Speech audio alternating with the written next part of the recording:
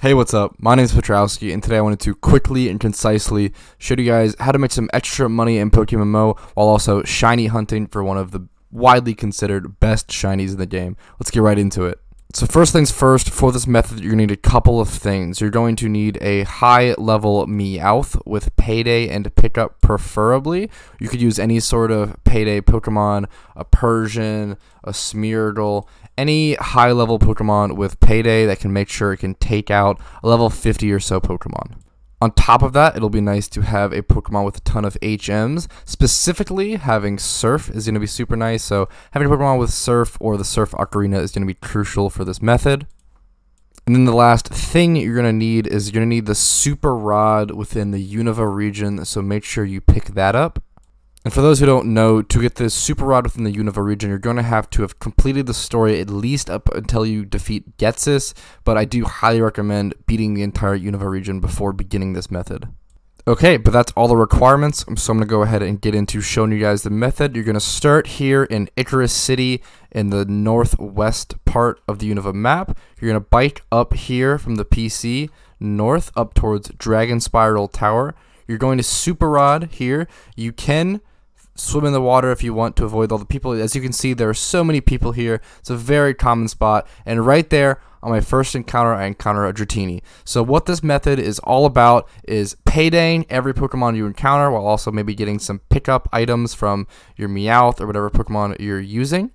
And then you're going to be, you know, hopefully maybe one day getting that Dratini. So you're going to be getting around 360 to 550 Pokeyen per Pokemon that you kill with Payday.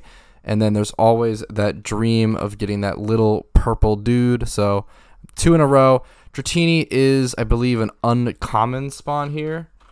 I am getting a little lucky right now, but it's not too crazy. He has an uncommon spawn from the, between levels 25 and 40.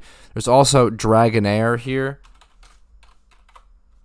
in the same exact location from the same spot. That is a little more of a rare encounter. So I also I just picked up a Dragon Fang, as you can see, pretty handy from my Meowth.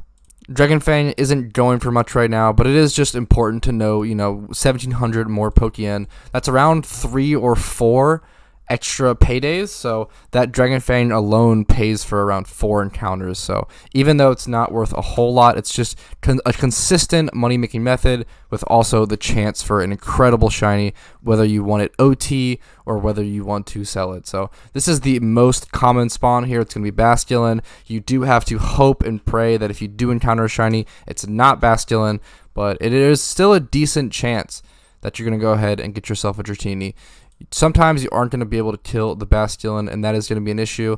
It is probably nicer to lead with him like a Persian, a little more attack, but whatever works for you guys. One quick note that I almost forgot. It is important to put a choice band, if you have it, on your paydayer, as that will increase the damage you output by 50%, which will really help you kill those Basculins if you're not one-shotting them immediately. And then the very last thing you're going to need to consider is that if you do happen to get a shiny Basculin, they do know takedown, so it is important to have something that can spore them or make it so they can't damage themselves with that move. Sometimes people need to end up masterballing them.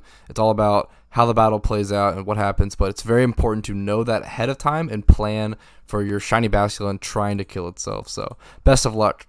But I think that's everything. It's a pretty simple method, and best of luck on your shiny Dratinis. Like the video if you liked it, disliked it if you didn't. Leave any feedback or criticism in the comments. Thank you so much. Like and subscribe, you know, all the whole jazz. Bring that bell notification for notifications for future uploads. And thank you guys so much for your time. Have a fantastic day. Peace and love, Patrouski.